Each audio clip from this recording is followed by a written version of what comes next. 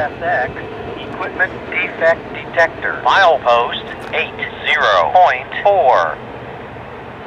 No defects. No defects. Total axle 260.